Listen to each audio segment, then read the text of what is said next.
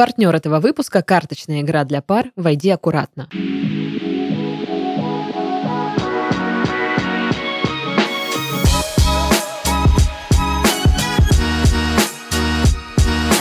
Anyway, how is your sex life? Всем привет! Вы слушаете подкаст с интригующим названием «Ребята, мы потрахались». В студии Дашка. Здрасте.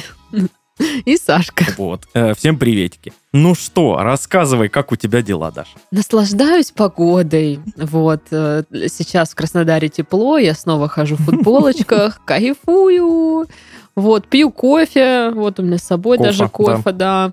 А, Ем круассаны, Мгм, сплю э, сколько хочу и кайфую. Вот так у меня дела. А я э, решил украсть твою личность, вот, и теперь я начинаю этот подкаст, э, и про как дела я скажу, блин, как же меня все задолбали, блин, э, эти дураки дурацкие, то на дороге, то еще где-то, то там соседи какие-нибудь шумные, вот это все. Ты же в курсе, что если ты украл мою личность, то ты крадешь и мой кредит на участок, который я плачу. Не-не-не-не. Да, да, да, да, да, да, да, да, да, да, А, да, но с да. другой стороны, то на тебя вешаются мои кредиты. А у тебя есть кредиты? Конечно. Больше, чем у меня. Да. Говно какое-то. Так, ладно, все.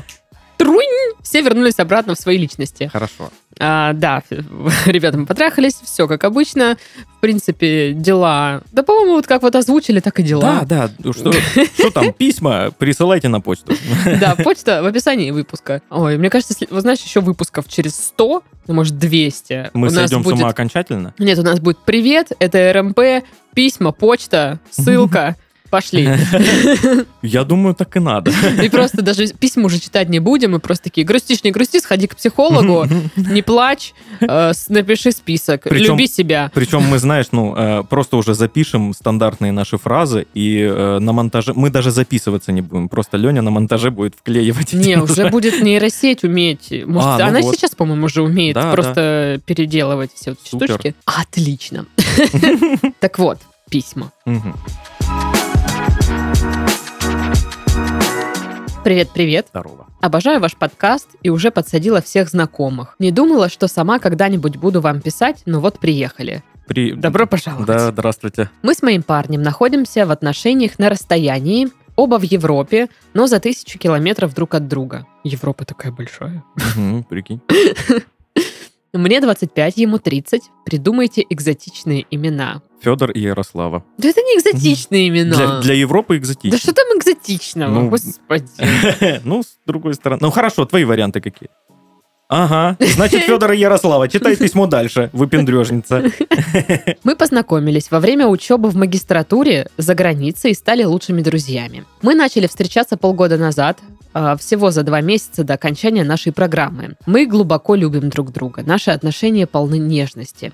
Эти отношения стали самыми наполненными из всех, которые у нас когда-либо были. Знаю, так как мы это обсуждали все, что у нас на сердце все эмоции и переживания. А в этом отношении мы очень внимательные, так как некоторое время назад оба были терапии. Какие все осознанные стали, Мгм, а? мгм. Нам Смотри, скоро вообще, вот что нам делать? люди. Мгм. Когда мы начали встречаться, я была уверена, что к декабрю этого года, как только закончатся наши стажировки, мы съедемся. Мы договорились, что в мою страну переедет именно он, так как я не могу никуда уехать из-за сложностей с визой. Поэтому он активно искал работу поближе ко мне. При этом последние три месяца выражая недовольство своей нынешней работой в своей стране. Мы ежедневно обсуждали наше совместное будущее и то, как мы будем праздновать Рождество в нашей квартире. О, Миленько. да. Каждый раз, когда я упоминала о наших планах жить вместе, он с энтузиазмом отвечал «Да, я тоже об этом думаю и очень хочу». Мне казалось, что это естественное развитие наших отношений, и я полностью верила в это. Этих обсуждений и его позитивных реакций мне вполне хватало для уверенности. Однако несколько дней назад я начала испытывать беспокойство, так как переезд уже как бы скоро, Мгм. а я не получала до сих пор от него никакой информации о возможностях релокации, интервью и тому подобное. При этом он упоминал, что его нынешний босс предложил продлить контракт, и ему нравятся новые предложенные проекты. Это побудило меня напрямую поинтересоваться нашим будущим и вообще тем, что происходит, так как я начала серьезно тревожиться. Ох уж этот босс, да, сучка. Решил уводит. увести, Прям увести. вообще. Ну, Тварь. Из его ответов о том, какие крутые будут новые проекты в его нынешней стране, мне стало ясно, что он уже не уверен в желании переезжать ко мне и искать новую позицию, которая, оказывается, он, в общем-то, активно и не искал. Сюрприз, сюрприз, сюрприз, сюрприз. Ну, мемы. Да-да. Спасибо. А, на мой вопрос о том, как же тогда все разговоры о переезде к декабрю, он ответил, что никогда и не говорил прямо, что намерен переехать так скоро. Ой, ой, мастер переобувания в воздухе. Я просто оцепенела. Это заставило меня задуматься о цели наших отношений на расстоянии. Его предложение продолжать летать друг к другу не кажется мне жизнеспособным путем развития наших отношений, Это тяжело. так как я не вижу в этом возможности какого-то существенного прогресса. Ну, прогресс трат, наверное, будет ну, как бы происходить. А я была в отношениях на расстоянии до этого и знаю, где набиваются шишки. Я высказала ему свои опасения, но он промолчал, видимо, осмысливал. Тогда я спросила о наших дальнейших шагах, о совместном проживании и стабильности в отношениях. Он согласился, что это важно, но каких-то вариантов, чтобы поддержать и успокоить меня, не предложил, продолжив молчать. Далее я поинтересовалась, как он представляет себе серьезные отношения и чем они в его понимании заканчиваются. Я спросила его, рассматривал ли он когда-нибудь возможность того, что мы станем семьей. После ужасно противной паузы он ответил, «Мне приходило это в голову, но ты знаешь, это большой вопрос, чтобы поднимать его сейчас. Я объяснила, что все это взаимосвязано, и именно поэтому я об этом упомянула. Его затянувшееся молчание и нерешительный ответ оставили во мне обиду и разочарование. Мы часто обсуждали свадьбы и детей. Свадьбы. Свадьбы? Ну да. Мгм. Не одну. нормально. Так как многие наши друзья сейчас находятся в этом периоде. Он всегда говорил, что хочет семью и знает, что и я этого хочу в скором будущем. Поэтому его неуверенность, отсутствие прямого ответа и уход от темы стали для меня шоком, сильно разочаровав. Мне показалось, что его намерения не так серьезны, как мне всегда ощущалось. Теперь я в растерянности, как дальше строить наши отношения и для чего тогда вообще нужно это ожидание на расстоянии. Я не хочу его терять, но чувствую большую обиду. Дашка и Сашка, буду рада услышать ваше мнение о том, как двигаться дальше в подобной ситуации. Не издевайтесь сильно над нашей парой. Хорошо. Спасибо, обняла вы котятки. И вы котятки. Итак, э, прожарка пары Ярославы и как там... Федора. Да. Так, а, в 20, ей 25, ему 30, Ему да? 30. Мгм. Ну, уже пора дитя зачинать. В такие-то года. Ой, блин. А они все по магистратурам вот это. Ага, ага. Что-то там. Что вы там учите? Все уже знаете. Извините, А, это шутка. Классическая ситуация, где парень падает на мороз. Так, Это прям эль классико. Это Эль прям... классику прям. Да, да, да, это прям по энциклопедии. Вот э, вбиваешь там в интернете, как падать на мороз, и там это письмо, мне кажется, будет. Потому что он четко падает на мороз. Он По не, инструкции прям, да, да? он не дает четкого ответа вообще.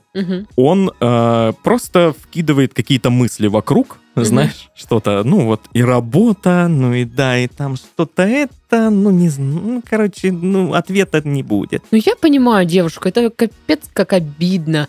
Но э, получается, что она уже такая ты-ты-ты-ты-ты, построила все планы там на пять лет вперед, что они будут делать, где они будут жить, что там, куда свадьба, дети или что, ну, то есть прикидывает, да, уже. Мгм. А он живет в моменте, ну, как бы сейчас. Он так далеко не заходит в своем планировании. И они еще полгода вместе, причем на расстоянии. Мгм. Ну, и я немного могу даже понять парня. Ну, то есть, через полгода после отношений на расстоянии переехать в другую страну к девушке, поменять работу, ну, типа, все, сделать такой большой шаг, м, довольно сложно. Конечно. Э, Кто-то готов, да, там сорваться, не знаю, все поменять, а он чувак, которому 30 лет, возможно, у него уже, знаешь, такие вот эм, мировоззрение такое более взрослое. То есть уже он не тот вот этот вот сумасбродный юноша, который «И я ради любви. Я сбежал из дома отчего, чтобы убежать ради любви, вот это вот все. Ну да, там, я, я там найду работу, я буду работать кем угодно, лишь бы быть с тобой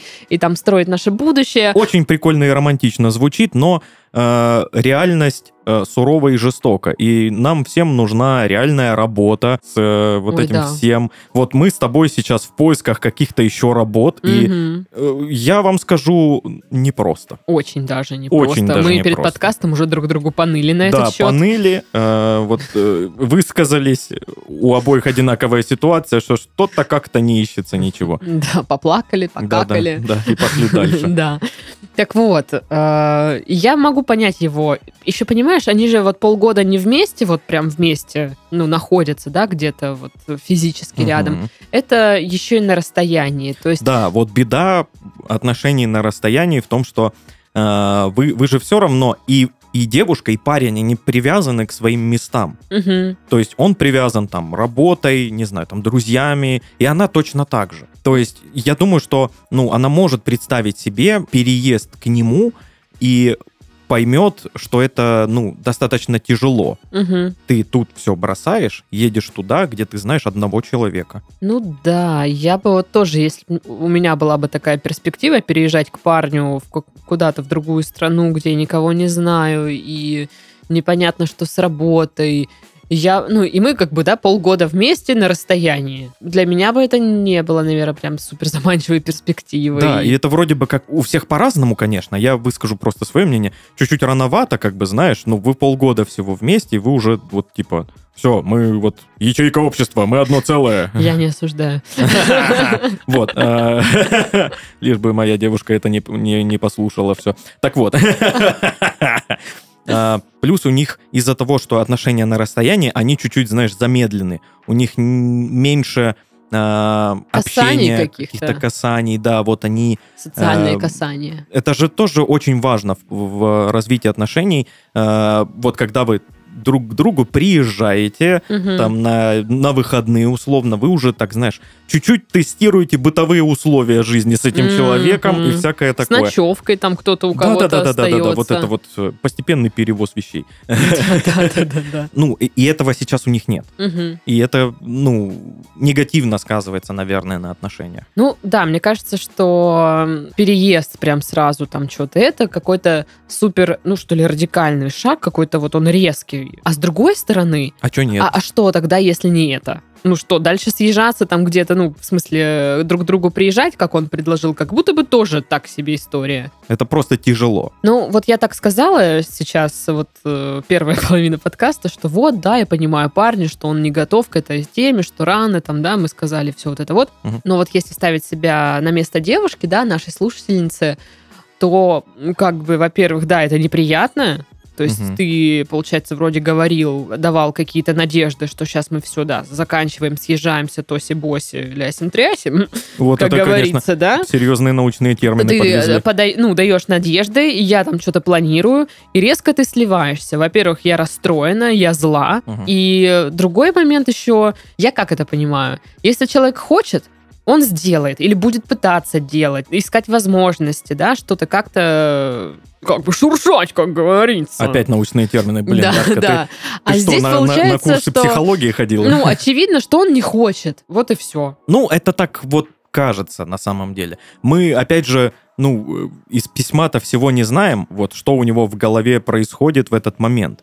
Возможно, всякое. Возможно, он не уверен э, пока что, может, знаешь, в серьезности этих отношений. Что, ну, на самом деле нормально. Да, ни- никто не спорит, что нормально, но можно об этом сказать, а не тянуть там до последнего, когда она, знаешь, начинает уже нервничать, не понимает, э, чувствует, да, какой-то подвох, Да. что что-то не так. То есть, ну, вся проблема не в том, что он не может переехать э, и там так далее, и она к нему, а в отсутствии какой-то коммуникации. Но он просто замалчивает. Да, он что-то, что-то вот не э, не говорит, не говорит свои э, настоящие мысли. Поэтому он говорит, ну, там что-то там посмотрим. Не, ну он высказал, в принципе, просто когда она из него это все вытащила, он сказал, что я не уверен, что это вопрос, который нужно поднимать сейчас. Она Мгм. же там спрашивала, ну, там, семья, не семья, то есть боси опять лясим-трясим, как Мгм. говорится.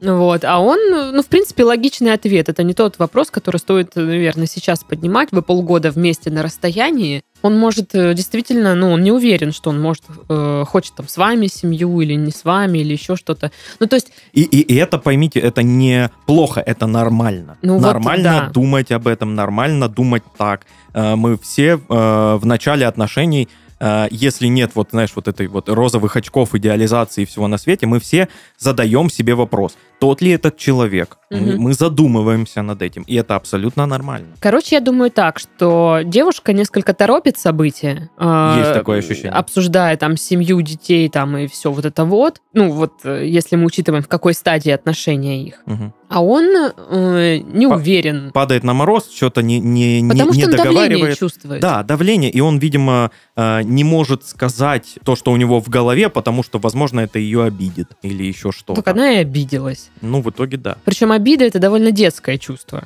надо сказать. Ну, Но- обида. Обида... Взрослый человек, он, не знаю, ну, разозлится, он расстроится там. Ну, не, знаю. обиду чувствовать нормально. Ну, это ну, Но- дети Но, обижаются. но нужно с этим... Взрослый человек с этой обидой что-то делает, знаешь, он ну просто да, наверное. ее как-то пе- переводит во что-то. Короче, я думаю, что ему комфортно в отношениях так, как сейчас происходит. Ему комфортно кататься друг к другу, что никто не давит, вроде обязательства не давят, но вроде как бы и девушка есть, с которой он может и поговорить э, обо всем на свете, и приятно время провести, и секс у них будет там, и все. Но при этом он еще и самореализуется, там что-то делает свое. М, Да, это же важно, тоже очень важно. ну и вот и что делать?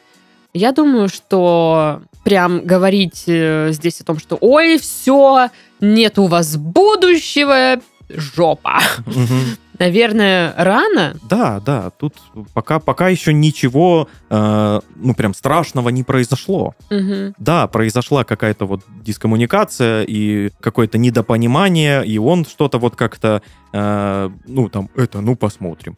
Вот эти, знаешь, стандартные мужские ответы. Мгм. Я думаю, что не стоит напирать на него насчет переезда и планирования, там, семья, не семья, что у нас будет, к чему это идет, быстро нужно. Это план на пять лет расписать. Мгм. попробуйте немножечко отпустить ситуацию, ну вот просто покайфовать от отношений в том виде, в котором они есть сейчас, Да. получать от этого удовольствие. Я понимаю, что вот вы говорите, ездить друг к другу, это никаким развитием, никакого прогресса. Да подождите вы еще. Мне кажется, что нужно дать время этим отношениям, и так или иначе вы придете к вот этой точке, когда Когда вам будет прям все понятно. да, и вы там увидите из этой точки, стоит ли, в принципе, ожидать прогресса. Мгм. Может быть, он скажет, я вот сейчас я готов, там, не знаю, или у меня тут с проектами офигенно классно, давай мы будем искать возможности твоего пере- переезда сюда. Порешаем мы все эти проблемы с визой, мы найдем способы, там, Мгм. что-то, что-то, и будет решаться в эту сторону вопрос.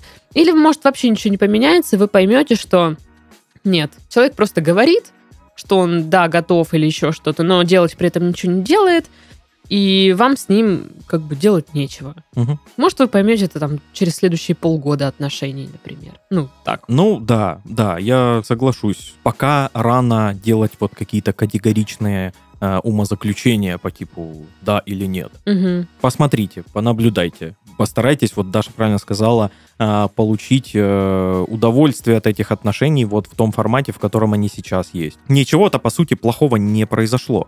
Ну да. Ну просто планы немного поменялись. Да, да, да.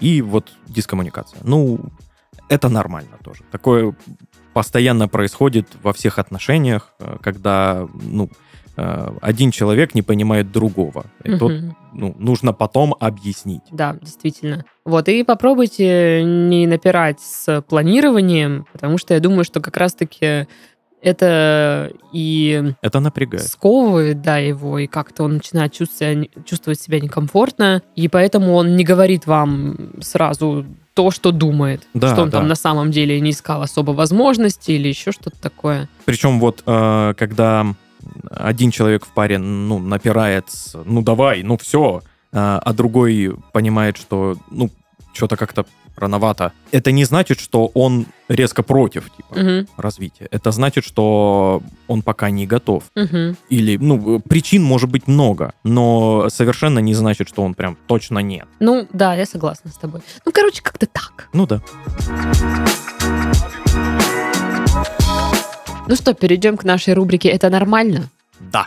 Напоминаю, в этой рубрике мы будем разбирать разные ситуации, которые происходят в отношениях. Многие из них вдохновлены письмами наших слушателей. Э, И наша цель выяснить, э, почему нормально, когда периодически между партнерами что-то там идет не так. Ну, в принципе, что мы там выясняем каждый день. Да это наш хлеб, мы вообще подкаст про это пишем. Итак, тезис на сегодня. Это нормально иногда хотеть побыть в одиночестве. Ну, блин, да. Супер нормально. Но я помню момент, когда я этого не понимал. Так, и, и как это было? Ну вот, мои отношения с Викой только-только начались. Мы вот только-только съехались, по сути. И она что-то, знаешь, устала на работе, и что-то как-то там день не задался, и что-то... И я тут такой, «Э, чё, кого? Привет! Вот это вот самое. Она такая... «Э». Пошел ты. И она абсолютно спокойно, не, не знаешь, не хавкая на меня вот это вот, а, просто спокойно сказала, у меня день тяжелый был, не, не воспринимай это лично, я хочу просто побыть одна, отдохнуть. Все супер, ты пупуська, я тебя люблю, все дела. Вот, но дай мне побыть Мгм. наедине с собой. И, и я в этот момент такой, типа, а, а ведь это нужно. Причем и мне это нужно было всегда тоже, и, но я этого не понимал. Мгм. Я как будто, знаешь, как будто это ненормальное что-то было. И я такой, так, подожди, почему это мне не хочется э, быть с ней? Я, почему я хочу побыть один? Я что, плохой парень? Нет. Не знаю, у меня никогда не было с этим проблем. А, Я всегда спокойно говорила, подожди, мне надо побыть одной, дай мне вот ну, несколько минут хотя бы, не знаю, что-то. Ну, типа, я устала, дай я посижу спокойно одна. Для меня это абсолютно нормальное хотение и желание, и никогда у меня не возникало проблем, чтобы это озвучить. И слава богу, мне никогда не попадался человек, который типа, а почему это тебе надо побыть Ты одной? что, меня разлюбила? А чё это? У нас проблемы в отношениях, и начинается, блин. И вот реально мне никогда не встречался этот человек. Поэтому я решила, что, ну, знаешь, автоматически все люди... Понимают Да, это. понимают, что нужно побыть э, в одиночестве иногда. Я сейчас э, живу с парнем, но я привыкла жить одна. И мне иногда не хватает вот этого, знаешь, э, одиночества чуть-чуть. Ну, знаешь, когда ты такая ходишь по квартире, делаешь, что хочешь. Вот. э, И не то, чтобы я там страдаю от этого, но просто я заметила разницу. Вот что. Когда ты в одиночестве живешь, и когда у тебя есть еще кто-то. Конечно, разница очень-очень ощутимая. Э, Нет такого, что, знаешь, э, где-то лучше, где-то хуже. Вот, Мгм. типа, вот, э, од- одному жить хуже. Знаешь, такое то какое-то привычное мнение есть. Ну, нет, есть и там свои плюсы и минусы, Просто и там есть свои плюсы и минусы. разница, да. Я ощутила разницу, и, ну, меня устраивали оба варианта. Действительно, ты правильно говоришь, где-то есть свои плюсы, э, где-то есть свои минусы и все такое. А, еще прикольный момент, что жилплощадь, как бы, то есть, допустим, прикинь, ты хочешь побыть один, а вы живете там в, в студии, в квартире, да? Мгм. Это сложнее, как бы ты просто уходишь, по сути, в другой угол или, не знаю, там в туалете запираешься, там, не знаю, лежишь просто в ванной или в душевой кабине стоишь. Спрятался в шкафу. Да. Или у вас там, не знаю, квартира какая-нибудь, четырехкомнатная, например, и у вас там, типа, блин, пространство, чтобы побыть одному, ты можешь просто прям буквально в комнате закрыться и быть один. По поводу этого, э, я когда приезжаю в свою станицу родную к своей маме. А, дом большой такой, ну, станичный большой дом. А, мама там живет одна, и она привыкла э, жить одна. Ей Мгм. ок, Мгм. прям очень даже ок. Мгм. И э, когда я приезжаю, ее это немножко, ну, подбешивает, потому что она привыкла. И она говорит, ну, хорошо, ладно, с тобой просто, ты сидишь вот здесь, на кухне, там, смотришь что-то в интернетах этих своих, я там в другой комнате, в другом конце дома вообще, мы не пересекаемся, мы даже, Даже не, слышим. даже не слышим друг друга, и, знаешь, и вечером просто посидели, чаю попили и поболтали. То есть, э, ну, Удобно. очень удобно, да, когда жилплощадь позволяет, но не всегда позволяет. Ну, в общем, да, действительно нормально, но нужно, наверное, как-то партнеру это объяснить, Да. сказать. Вот как мне Вика объяснила, очень нормально, спокойно, без каких-то, знаешь, эм, э, резких выпадов, и я понял. Потому что до этого я реально не понимал, я просто даже не задумывался об этом. Мгм. А, и я понял, и такой, а, о, слушайте, а ведь действительно. Кстати, эту просьбу как-то правильно, экологично поможет донести партнер этого выпуска. Это игра «Войди аккуратно». Да.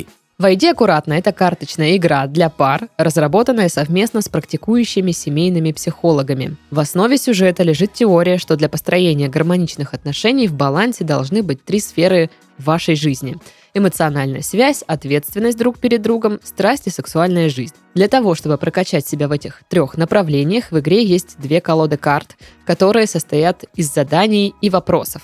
В каждой колоде по 90 карточек, по 30 на каждую сферу. Благодаря игре можно научиться слушать партнера, лучше узнать друг друга, научиться качественно проводить время вместе, ну и, конечно, вернуть страсть. Yeah. А если вы думаете, что партнер не захочет участвовать в игре, можно воспользоваться специальной памяткой «Войди аккуратно».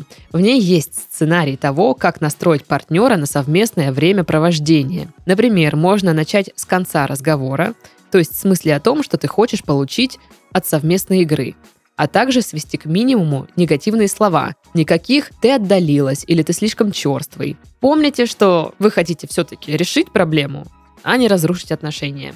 Так что если тебе необходимо периодически оставаться наедине с собой, но ты переживаешь, как объяснить это своему партнеру, переходи по ссылке, заказывай игру и вместе с партнером учись понимать друг друга. Кстати, прямо сейчас, войди аккуратно, можно купить с хорошей скидкой. Ну что, следующее письмо. Давай. Привет, Саша и Даша. Привет. Слушаю ваш подкаст уже два года, плюс-минус, а, но редко. Решил написать. История пойдет еще с первого курса. Мне Так, было так. 16. Вот так. Усаживаемся. Удобнее, да, да. Так, берем чаек, кофеек. На учебе была в другом городе. С жильем вопросов много. С ним всегда много вопросов. Мгм. Решили съехаться с одногруппницей, с которой и по сей день общаемся. По итогу началась бурная студенческая жизнь, тусовки с парнями, конкретно с двумя. Один из них мне понравился еще в первый раз нашего сбора, в который, собственно, у нас и была близость. Именно моя первая близость. Поначалу приняла это как пьяную случайность, потому что вне тусовки именно с этим парнем мы не общались. А после началась проблема того, что я начала влюбляться из-за регулярности таких встреч. Ого. Хоть и были красные флажочки. В итоге со временем общение вроде пошло, но редкое. Я убивалась из-за этого, на что не могли смотреть друзья и конкретно та подруга, из-за которой мы начали общаться. В одну из последних наших тусовок она принудила или принудила, как там правильно, ну короче, заставила нас поговорить. Ой, Я высказалась ему о своих чувствах, ой-ой. а он отмолчался о своих чувствах Ай-яй. просто отговариваясь своими делами, учебой, армией и так далее. Я долго отходила от этого разговора, так как по факту он мне ничего не дал, но суть была ясна. Со мной просто было классно спать. Собственно, о красных флажках. Они выражались в том, что парень параллельно писал подругам. Одной написал напрямую, чего он от нее хочет. Воу.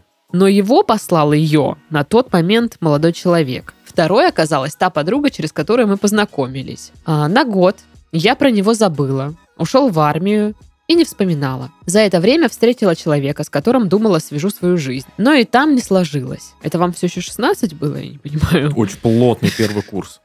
Встречались 7 месяцев. а, Из-за расстояния пробыли вместе месяц, потому что приезжал на защиту диплома. После ушел в армию и в один день позвонил и сказал, что нужно расстаться. Переболела недолго, так как еще в отношениях были проблемы, нехватка внимания и непонимание друг друга. Решила пожить собственную жизнь, как раз последний курс мысли о дипломе. Молодец. То есть это уже сколько там лет? Ну, 20. допустим. Ну, ближе к 20, да? Хорошо. Просто я думала, реально, да все, 16.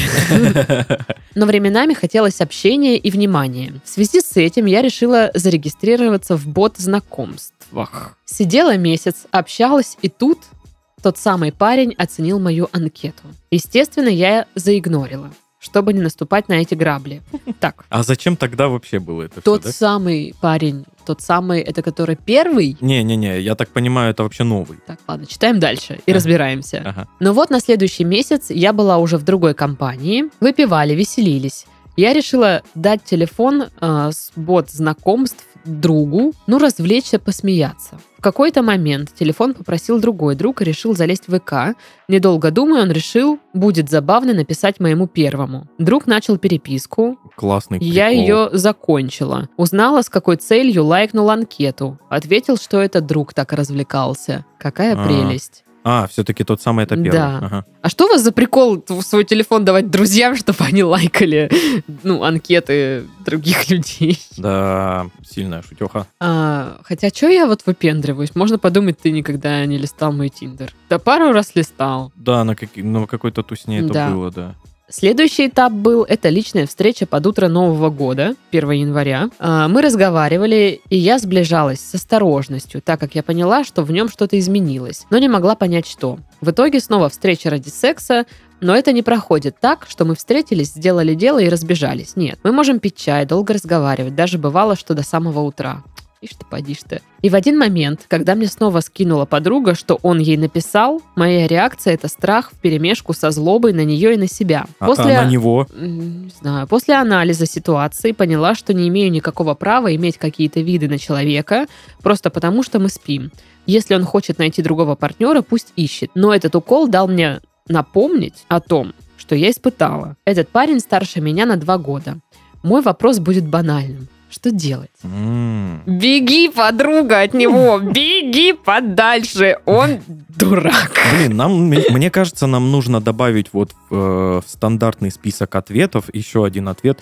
Блин, ты королева, недостоин, он недостоин вообще, этот мудак тебя, ты богиня. Вот это все. Ну, честно говоря, такой какой-то. вообще идиотизм какой-то полный происходит. Ну да, как-то вот э, очень непонятно, почему так. Ладно, я, понимаю первый раз, почему так. Ну, Ну значит, неопытность, там, первый секс у нее случился с этим парнем, и как-то там что-то непонятно, как себя вести, ну, вот все вот это вот. Но спустя время, ну, то есть, казалось бы, вы сделали выводы, что это он дурак какой-то, ведет себя кончено по отношению к вам. Да, да, у, у- у него, вы причем это с первых каких-то э, отношений с ним э, этот красный флажок подметили, что, ну, э, он параллельно там пишет всем остальным девчонкам, Мгм. и, ну, это же явный показатель того, что он ничего, кроме секса, от вас не хочет. Ну да. И продолжает до сих пор же это делать, получается. Ну да, А, Я вообще не понимаю, зачем вы пошли с ним встречаться 1 января или какого-либо другого января, чтобы что. И вы же сами видите, все пришло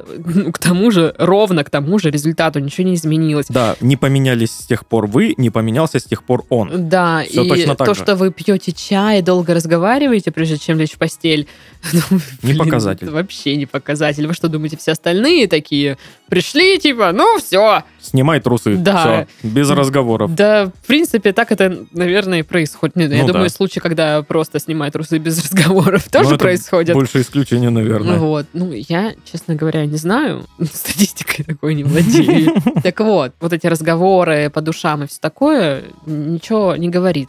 А, Факт остается фактом. Встречаетесь вы только, чтобы заняться сексом. Относится он к вам а, как-то очень потребительски, и все. Да, и вас это не устраивает. Вам э, вы, видимо, не тот человек, который может, ну, легко просто заниматься сексом с типочком каким-то там. Ну, вам да. нужно еще что-то, вам нужны отношения там и так далее и тому подобное.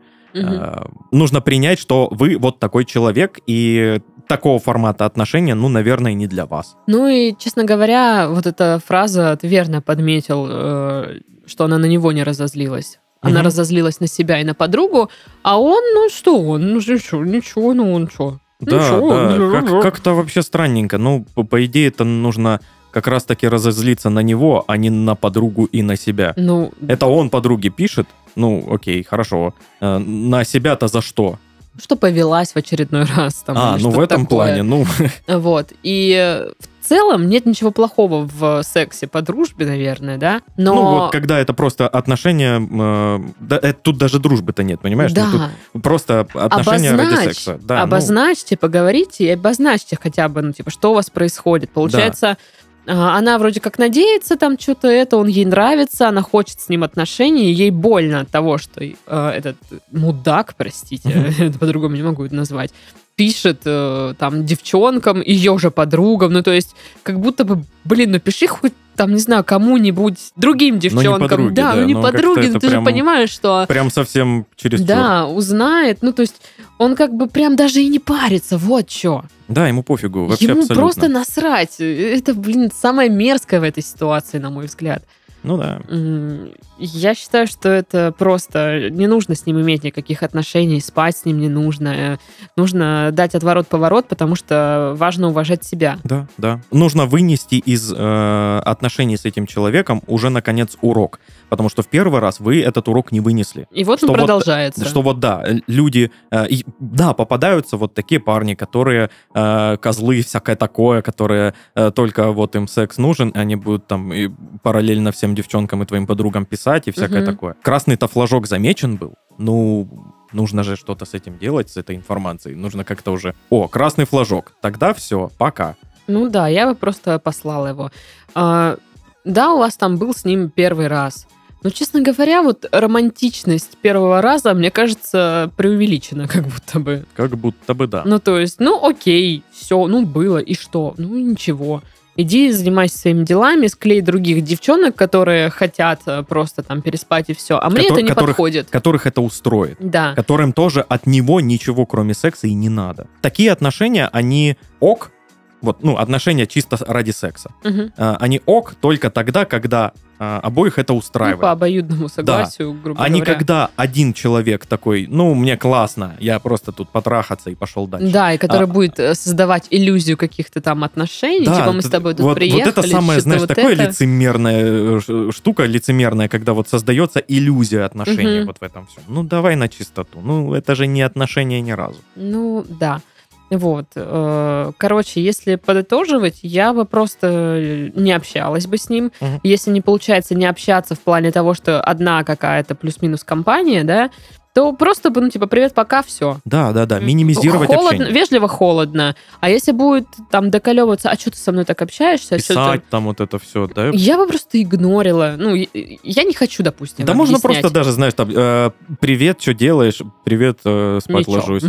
Э, э, там что-то, какая-то тема, что-то вспомнил, знаешь, там, типа, крючочек для разговора. И отвечать односложно, да, нет, не знаю. И все. Или типа, слушай, я не хочу разговаривать. И все. Вот Мгм. реально, типа, я ложусь спать, я не хочу разговаривать. Или там, я занята, потом когда-нибудь давай там это. Мгм. Чувак, э, не обижайся, но я не хочу Просто я знаю, что иногда такие люди э, любят, ну, типа, а что такое, а что случилось? Ну, объясни, что ты со мной так стало холодно общаться. Они не понимают, почему их начинают, ну, игнорить, почему с ними обходятся вот так вот. Да, все они понимают. Просто это... так, это... они пытаются же, видишь, тебя развести это маневр. обратно. Да, да, вот да, это да. вот. ну, Это маневр, чтобы держать тебя вот э, в этой френд-зоне на горизонте. Френд-секс-зона. Ну да, вот э, когда девушка попадает во френд-зону к парню, это обычно просто отношения ради секса. Ну, короче, да, я бы сказала, все, иди в жопу, блин, я буду заниматься собой, Да. искать, э, или там не искать, общаться с парнями, которые ценят меня тоже, а не так, что, слышь, ты сюда подошла, Мгм. я сегодня готов одарить тебя своим вниманием. Э. Ну, как-то не очень это красиво. Конечно. Короче, подруга, нам не нужны такие отношения. Да, Вот. да, да. Опять, ну, пожалуйста, ну, ну любите же себя, люди, вы чё? Да, слушай, некоторые так себя любят, что вон, вот так себя ведут, как вот этот Не, парень. ну тут перебор явно. Ну не любите вы себя так, ну люди, ну что ж вы. Просто нам-то пишут обычно как раз э, люди, э, которые к себе относятся зачастую хуже, чем к, к окружающим людям, К окружающие. к окружающим, да, Ха-ха. и уж тем более ко всяким мудакам. Ну, короче, да, Да, да, да, да. вы поняли, вы достойны большего. Э, Отношения ради секса — это не ваш формат. Отношений нормальных этот человек вам не даст. Ищите другого. Аминь. Там Манечку Асти послушайте. Да, да, вот это все. Устройте девчачью вечеринку, обосрите его там. О, вообще, мой, лю- мой любимый формат Да, да, э, там, э, вечеринок. Вино, патчи, роллы, вот это все. Роллы хочу. Ладно. Ну что, на этом мы завершаем наш подкаст. Да. С вами был Сашка. И Дашка. Все, всем пока. Пока.